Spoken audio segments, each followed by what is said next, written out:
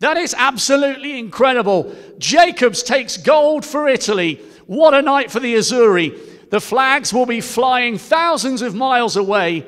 It's glory for Jacobs and Tamberi in the high jump. What a night for the Italians. You just say what you see, because if what you see is Jacobs jumping into the arms of Gianmarco Tamberi, tell people about that and tell them why it's exciting. So I think my headline from that little sort of vignette is it's very important not to try to be too clever. Talk to the pictures.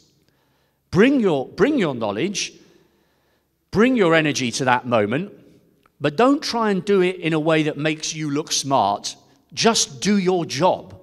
And your job as a commentator is to convey excitement, put the performance into context, and do justice to the hard work of the man or woman or team about whom you're commentating. Yeah, we can all try and be smart and clever. Your plaudits will come. Hopefully, if you've done a good job, you'll be patted on the back later. But it's about them, not about you trying to look big and trying to look clever. Okay. Another point I would make, I'm going to leave this open for questions later because I'm not sure what time we have to leave. I'm just giving you some bullet points here. Many of you are broadcasting or writing about Ugandan success, which is great. And at the moment, there's lots, especially uh, you know, with the likes of Jacob and Joshua and Peruth. I also think it's important for you to know, again, I'm using athletics as an example. I think it's important for you to know almost as much about the Kenyan and Ethiopian distance running rivals of the Ugandans than the Ugandans themselves.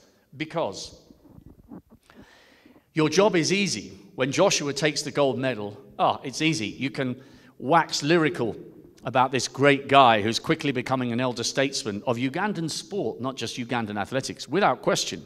However, your job is harder if he blows up and he comes sixth or seventh in a final. Of course, there'd be a good reason for that. And of course, as broadcasters or writers for Ugandan publications, you would center on that. But you are not doing justice to the sport if you brush over the story of the athlete or competitor who has beaten him. Let's talk about somebody like Selemon Barega if Cheptegei goes to Budapest and he's beaten by Selemon Barega, do the sport justice by making sure you know something about Barega. Don't just say, well, the Ethiopian won it. Tell us something about him. You're not, you're not being offensive to Joshua in that context. And of course, in your article or in your broadcast, you will have time to analyze what went wrong for Joshua if you deem it to be a performance that he would be disappointed by. But you owe it to the sport and to the context to make sure you know something about the people that, that you're cheering on lose.